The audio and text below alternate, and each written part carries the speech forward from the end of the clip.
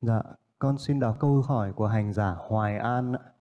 Dạ, con kính bạch sư, làm sao để có sự bảo hộ từ chư thiên khi đến những nơi nguy hiểm ạ?